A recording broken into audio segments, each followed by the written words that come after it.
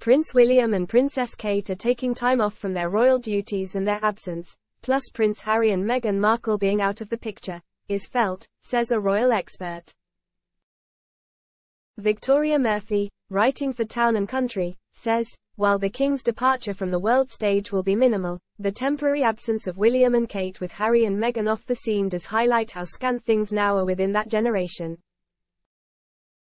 Harry and Meghan have been absentee royals for a while now, it just doesn't seem like it, because they carry out, faux, royal engagements like the dropping of the puck in Vancouver, Canada. Murphy adds, there is much talk of Charles and William continuing to favor a more streamlined approach for the monarchy. There's been mention of promoting other royals, but Murphy doesn't see that happening, saying, there does not seem to be any desire to employ Princesses Beatrice and Eugenie back into the royal roster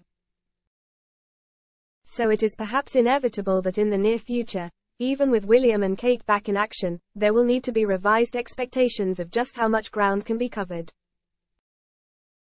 But, there are the mini royals, which Murphy talks about, just as Queen Elizabeth had four children who were each able to eventually take on a share of public duties, in the fullness of time William and Kate's three children could all, if desired, do the same.